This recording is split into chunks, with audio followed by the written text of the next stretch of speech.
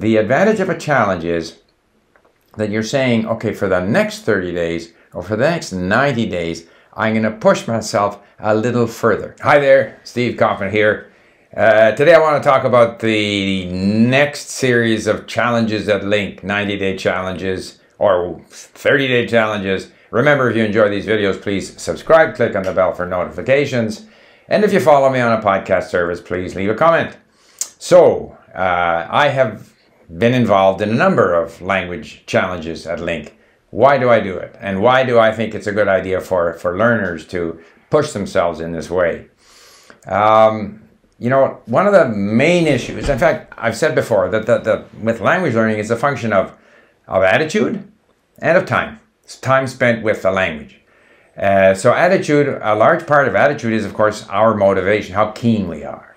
And in an ideal world, every day we wake up and we just can't wait to start learning our language. We can't wait to listen. We can't wait to read. And we're happy and everything is, you know, on the up and up.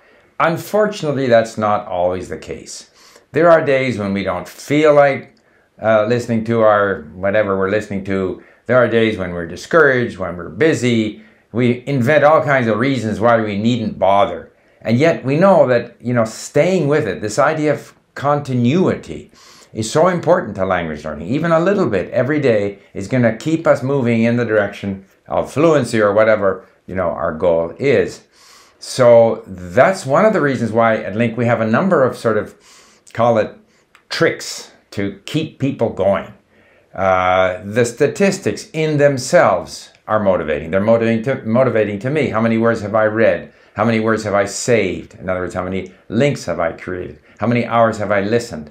When I look back in my profile page and I see when I started and when I was active and how active I've been over the last little period, all of this is motivating to me. So the statistics are in themselves motivating.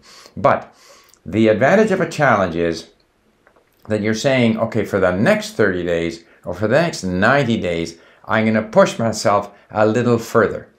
And one of the things that I think the LingQ team has done that's that's really good now is that whereas before you had to have, you know, you had specific targets, like you had to save so many words, in other words, create so many LingQs, uh, you had to read so many words, you had to listen so many hours. There were very specific, you know, activity related uh, targets. And that's a bit unfair because, you know, as I often say, you want to keep doing the things that you enjoy doing. So some days you're more inclined to listen, or maybe you only have time to listen.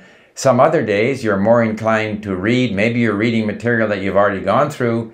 Some other day you're going through new material, so you're, you're creating new LingQs. And so by kind of merging, funging everyone, every activity into the, the concept of coins, as long as you maintain the target you've set for coins, uh, which you can do in a variety of different ways, you are able to maintain a streak. So not only is the target important and the idea that you're committed to a 30 or a 90 day uh, challenge important, but I found this desire to maintain my streak kept me going. And so you want to be careful that you set a level in terms of the coins per day that is sufficiently challenging without being too difficult so that it's kind of you're pushing yourself, but it's not too easy. And if you're able to do that, then you get a great sense of satisfaction because we know that the brain, if the brain is confronted with a task that's a little difficult and is able to do it, there is a great sense of satisfaction. If the task is too easy, then there is very little stimulus from that. If the task is so difficult that we simply can't maintain that level of activity, then it's discouraging. So it's important to choose a level that, that works for you, that pushes you without being too difficult, and occasionally, I what I do if I fall behind and I lose my streak, then I'm able to take the coins that I've earned and use them to repair my streak. So if I if I have a streak of 30 days and then for whatever reason I wasn't able to do anything the next day, I'm able to repair my streak so that I now have a 31, 32, 33 and just keep that streak going. So you know, and some of us may be into several languages, so that's a bit of a disadvantage that you can't merge across languages. So the solution there is to set not too tough a target in each of two or three languages so that you're able to maintain your activity in those languages.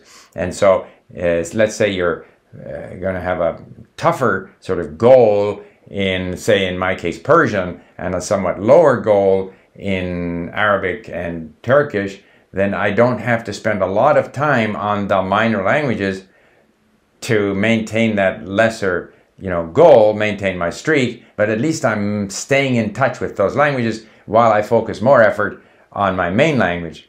So check out the uh, uh, challenges at LingQ commit yourself to a challenge. You'll be happy you did. And then you can follow how other LingQ members are doing by going to the community page and seeing who you know who has the longest streak who has uh, you know created the most LingQs and so forth and so on. So it's, it's a fun way to connect with others, which also is important in language learning because sometimes we can feel that it's a bit of a lonely activity. But once we realize we're part of a larger community that uh, are working on whatever language, it might be the language you're learning or some other language, you can see the sort of uh, level of activity in different languages. I find that quite motivating. So, with that, I would encourage you to get involved here in the new year in uh, some kind of a challenge, 30 or 90 days.